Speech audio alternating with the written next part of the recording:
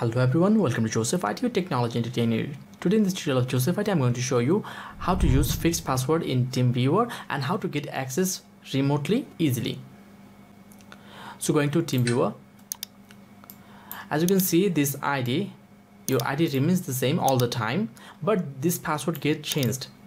Okay, so I'm just going to fix this password. So going to extras, options and under general click on start TeamViewer with windows and it's asking you for the password. So what i'm going to do i'm just going to simply choose a password. Suppose one two three four five six and again confirming it. One two three four five six and okay. Okay. Now incoming LAN connections should be accepted. Okay. Then go to security. Now choose the password again 1 2 3 4 5 6 again. Okay and password strength should be disabled. I don't want a random password. Okay and then simply go to advanced. Click on show advanced options.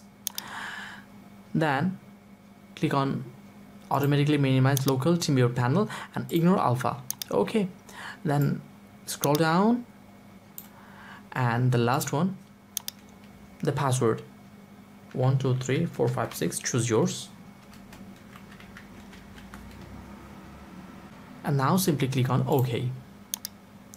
And your password 1 2 3 4 5 6 has been replaced permanently and there you'll be able to find no password. Okay next time you want to get access to your pc just simply remember this id and the password will be that the one you have set earlier in my case it is 123456 and by this way you can use permanent permanent password for your TeamViewer and can get access remotely and I hope you really found this video useful. If you're new to this channel then please don't forget to subscribe to the channel, like the video and share.